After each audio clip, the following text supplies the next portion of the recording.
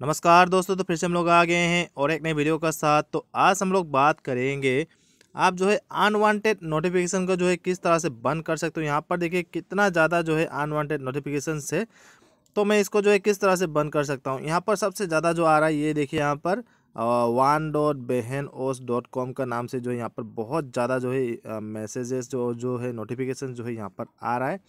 सब इसी का ये देखिए इतना ज़्यादा है कि भाई, क्या बोले? ठीक है। तो परेशान हो गया हूँ इससे तो इससे आपको अगर परेशानी हो रही है किसी भी नोटिफिकेशन से तो आपको जो है किस तरह से उसको बंद करना है, ठीक है? मैं अभी जो है दिखाता हूँ आपको फुल प्रोसेस सबसे पहले आपको अपना सेटिंग ओपन कर लेना है।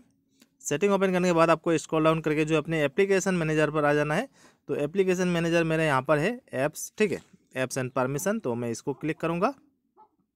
उसके बाद यहाँ पर देखिए मेरा एप्लीकेशन मैनेजर है। तो मैं पहला वाला सेलेक्ट करूँगा।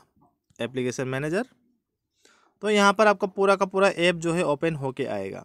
तो यहाँ पर आप नोटिफिकेशन देखिए कि भाई ये जो सबसे ज़्यादा आ रहा था ये कहाँ गया? ये देखिए वन डॉट बहनजो डॉट कॉम ये वाला था जो आ, ये वाला जो है आपका क्रोम से आ रहा है ठीक है?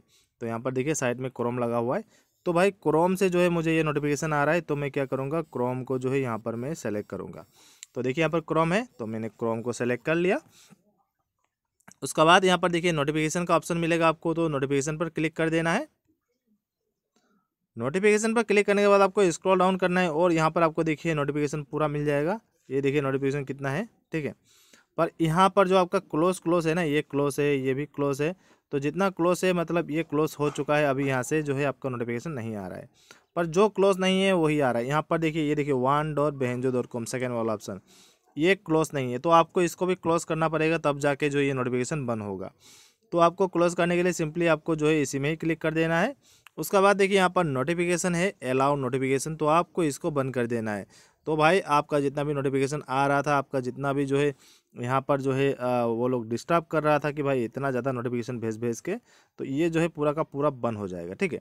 तो मैं यहाँ पर से बंद कर देता हूँ और अभी से जो है ये नोटिफिकेशन नहीं भेजेगा।